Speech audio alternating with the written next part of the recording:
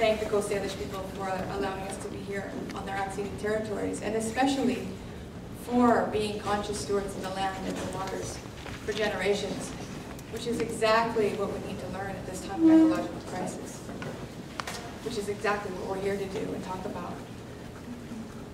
So when I was approached with this, this theme, there's so massive and there's so many things to touch on, and I didn't really know where to begin, and I kind of defaulted back to a lot of the exciting discourse around the Occupy movements around the world. And one of the things I kept falling back on was this notion that the often the, the mainstream media critique of, well, what is the message? What is the big message?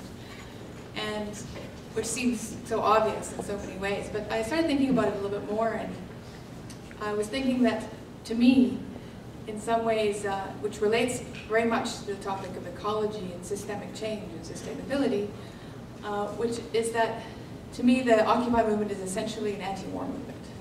Um, in the way I see it, it's against market fundamentalist war against life. It's against community. It's a war that is essentially against ecology, against justice, against human rights. It's a war against the commons. To me, that encapsulates my understanding of what people are speaking out against and acting against right now and proposing alternatives for. And so that's what's exciting about the conversations and actions happening today around with the indignados and the occupiers and the resistors and the revolutionaries that have been working not just in this phase, but for many phases against this war on the commons.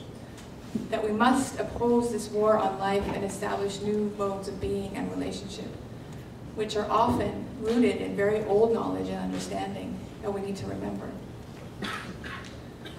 Um, I've been working in collaboration with a, a close friend um, on a project, uh, a film project essentially, but it's sort of morphing into other things, that looks at, and my friend who is an ecological economist, uh, we've been trying to track this idea of unlimited growth uh, and this very destructive and insane, psychotic uh, concept of unlimited growth within a, a world that has limits. The, the finite reality of this world and its systems and its ecological closed-loop systems having no relationship to this idea, this economic notion that we must grow, okay?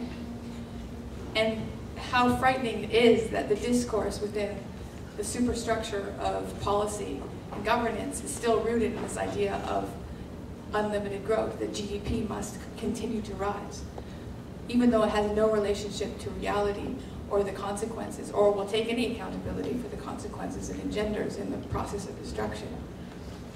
And interestingly, about 10 years ago when we started thinking about this and proposing it as a notion or an idea to deconstruct and unpack, it was interesting, a lot, a lot of people responded kind of going, well, what, what else is there? How could, what, what else could be a replacement for the GDP or um, how, why would you want to question growth? And it, definitely in the mainstream media, very rarely would you ever hear anything or critique around growth.